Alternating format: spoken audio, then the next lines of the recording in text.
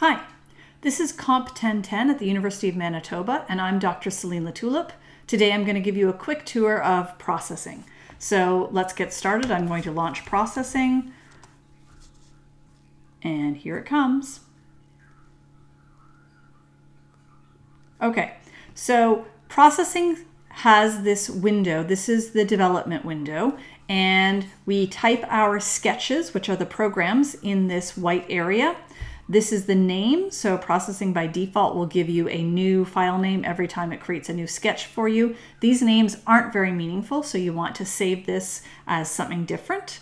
And then there are run and stop buttons. So you type your program in here, and then you run it and you can stop it.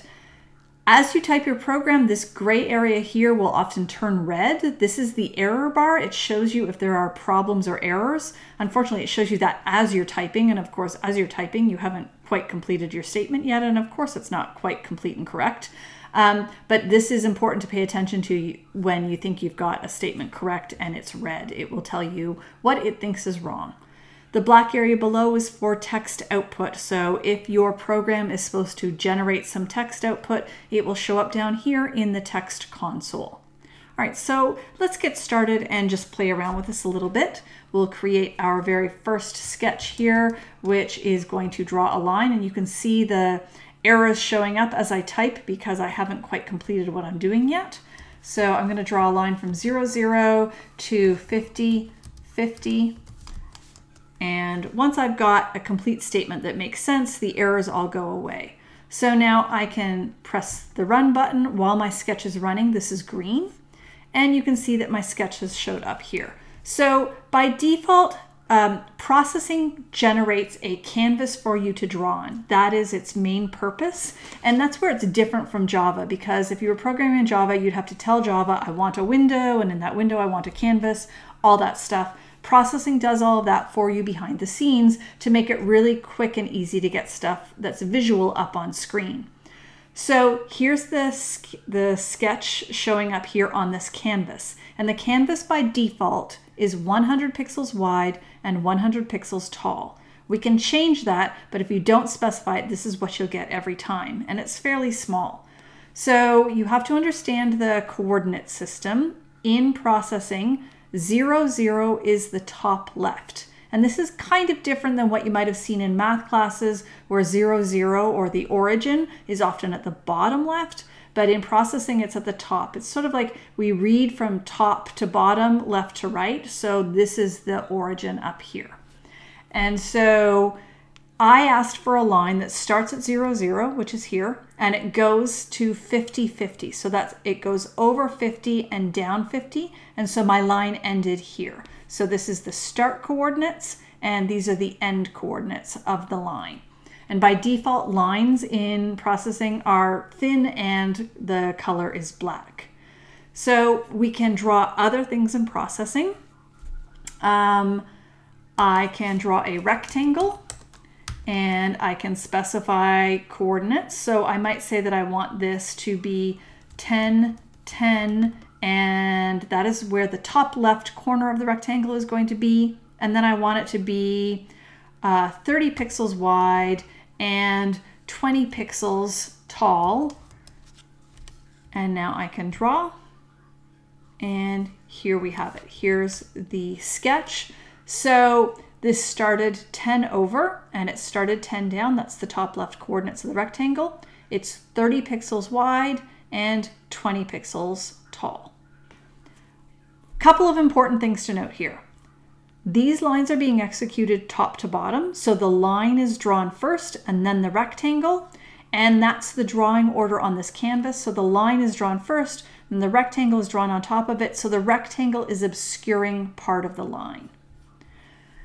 Now let's change the size of this canvas because it's so small it's hard to see. So let's set the size to something bigger. Typically in this class we're going to set the size to be 500 pixels by 500 pixels. And if we draw that now, here's our canvas and you can see that this made gave us a lot more space to draw on, but what we've drawn is still really tiny and showing up here. So now we can make things bigger. So we can make the line, for example, start at 200 and we can make it start at 50 and we can make it end at 450 and end at 350 and we can make our rectangle much bigger so it could be 300 wide um, and it could be 200 tall and let's see how that looks. Okay. So now we've got a line and we can't even really see the starting point because it's obscured by the rectangle. The rectangle is definitely bigger. We still started the rectangle top left coordinates over here at 1010. So that sort of shows you the drawing order, the canvas size, how to do lines and rectangles. Another shape that's important to know about is ellipses. And these are circles or ovals. So ellipse is the command name. And ellipses are a little bit different because to specify an ellipse, you specify the center coordinates and then the width and height. So if we wanted this to be in the center of our sketch, it's two, it's 500 wide and 500 tall. So let's put the ellipse centered at 250 and 250. And then let's say how wide it is. And if we want a perfect circle, then the width and height have to be the same. So let's make it 300 by 300, and this should give us a nice big circle right in the center of our sketch. There we go. So important to note that the lines are still black and the shapes that can be filled are filled by default and they're filled with the color white. And all of that can be changed and we'll learn how to do that um, a little bit later.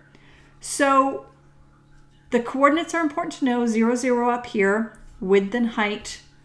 This is the width over here, this is the height down here.